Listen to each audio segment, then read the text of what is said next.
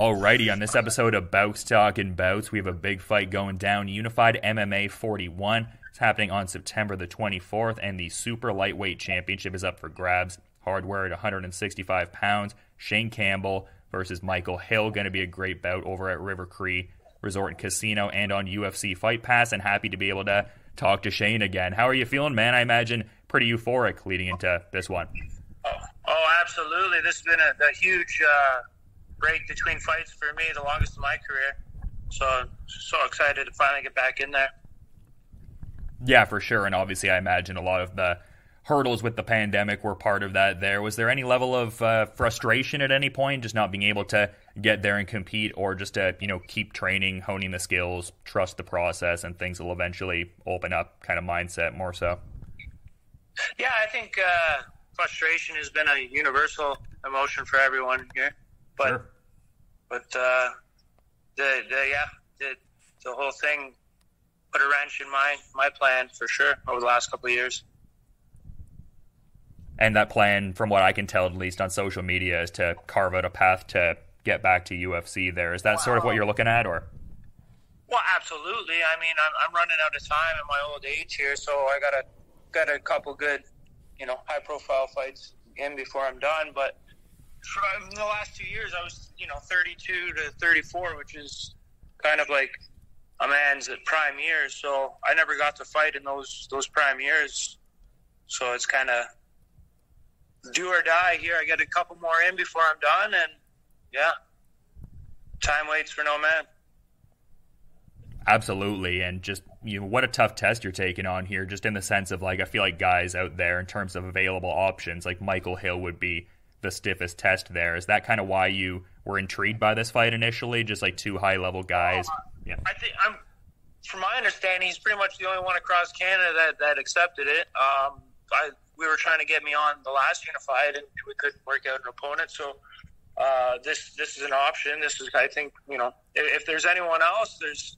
I kind of just lost my first place on Tapology, but uh, uh, for across Canada. But you know, if I'm willing to take on anyone right after this.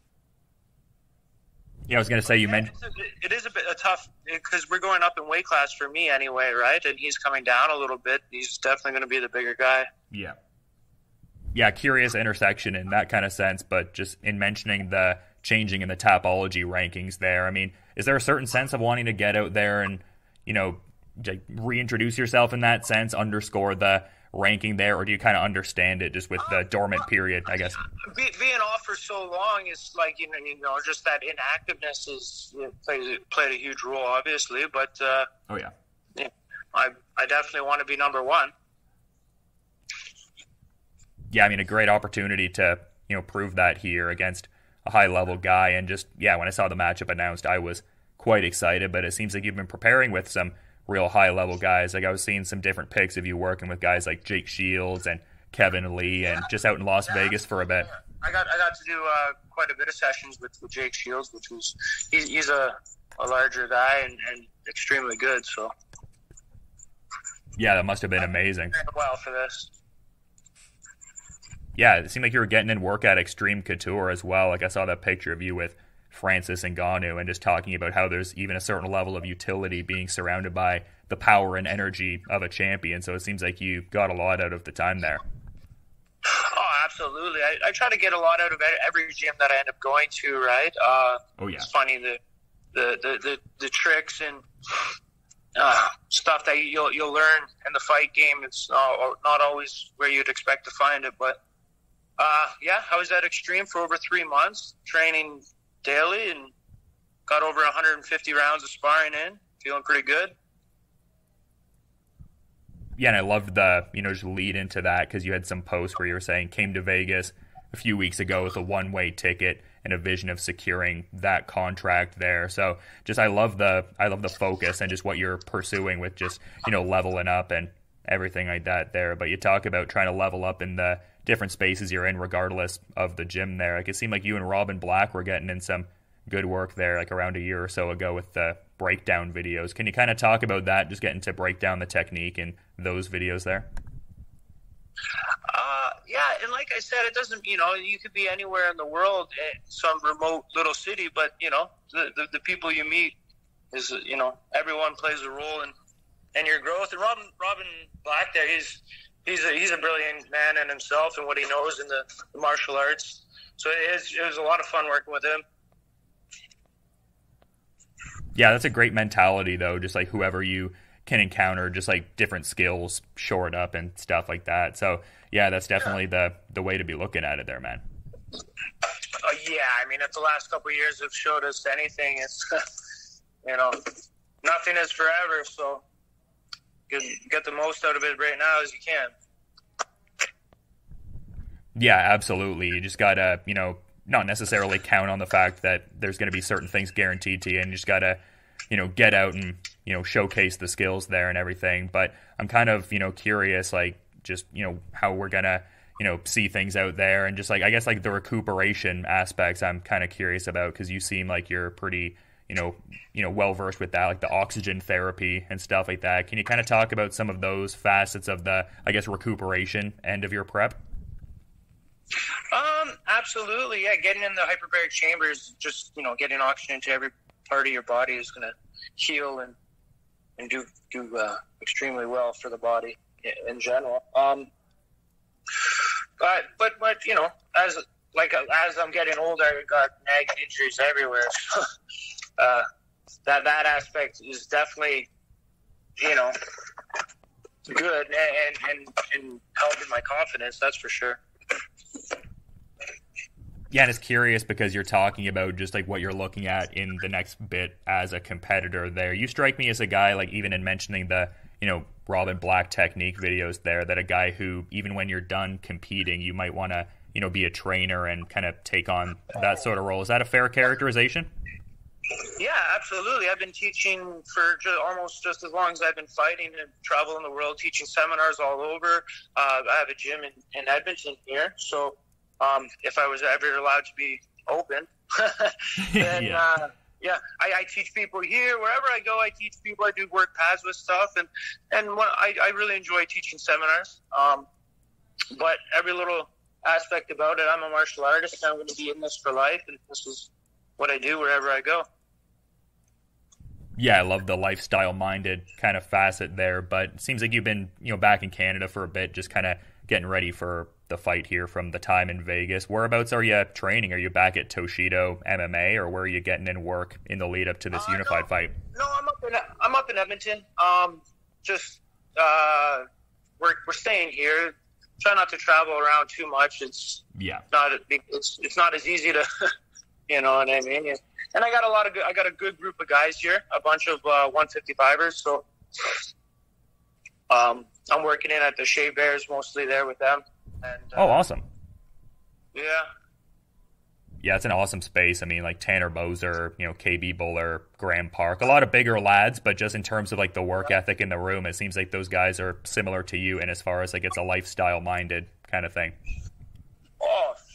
Absolutely! It's you know a champion mindset, and the gym is filled with them there. So it, uh, like I like I talked about before, the energy is is phenomenal, and it, and that helps in, in itself. Even if I'm not working with the bigger guys nearly as much, everyone's, you know, the more the more bodies in the room, the the better the day feels.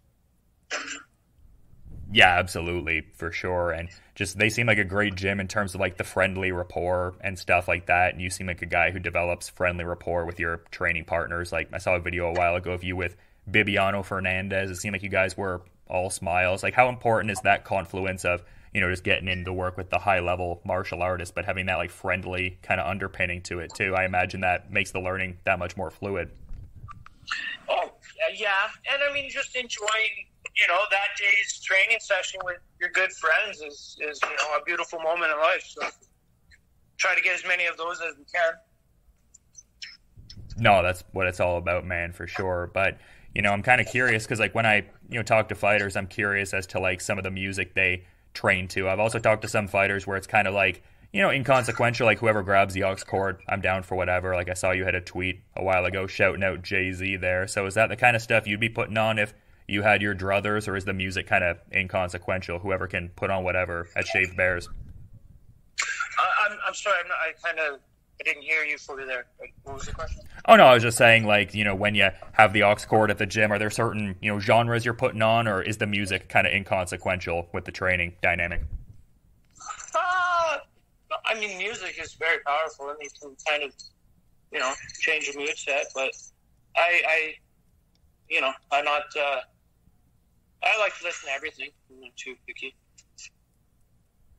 Yeah, because I've just talked to certain fighters too who like to almost train in the silence, like replicate the conditions of fight night more so. So it's not necessarily that you're just kind of down for whatever genre more so. Yeah, yeah, yeah. I, I mean, I have different moods on different days, so but a wide range. I listen to everything. No, no doubt that's the way to be. And also, just kind of as a parting question, wrapping up here, because like we were talking about the, I guess, desire to want to you know, go to UFC and stuff like that. But in terms of some of the other leagues out there, like One Championship, Rizin, like just some of the different rule sets they have, like would something like that intrigue you at all, or is it like a sole focus on UFC more so? Uh, no, no. I mean, wherever I'm able to get a fight here in the next little while is pretty good. I'm a champion of uh, Fight Night as well as Unified here in Alberta, oh, yeah. and uh, they offer bare knuckle boxing as well as you know some kickboxing stuff. So I'm I'm down to fight any any rule set really, um, as long as I'm not you know a complete dog in it. But uh, yeah, you could see me in some bare knuckle boxing or hopefully some Muay Thai coming up here pretty soon as well. That's intriguing. So the design, I mean, you obviously have the history of Muay Thai and some other disciplines, but the goal is to kind of open things up to multiple. Both of those, kickboxing and and Muay Thai. So oh yeah, I no. would like to yeah to go a little bit before I'm done as well. Yeah, that's really intriguing, man. A lot of different options available to you, but again, I want to be mindful of the time and the busy schedule. Always good getting to talk to you, but just in the interest of, like I said, being mindful of the schedule, is there anything you maybe would want to add as we're wrapping up here, man? Uh, I mean, uh, no, just we'll, we'll see what happens here on on September, and you know, hopefully collect another belt, see how that goes, and and yeah, there's going to be tons of options right away afterwards. But you know, yeah, if uh, if anyone wants to come down and see me at my gym, uh, or there, or I'll be running hyperbaric chambers at at Apothix Naturals as well. So when I'm here in Edmonton, come on down check him out and also check out this fight coming up September the 24th, Unified MMA 41. We've got Michael Hill and Shane Campbell vying for that super lightweight championship, and it goes on UFC Fight Pass. Great getting to talk to you, man. Thanks for making some time, and yeah, looking forward to the fight, and hopefully you enjoy the rest of your day there, man. Awesome, you as well. Thank you very much.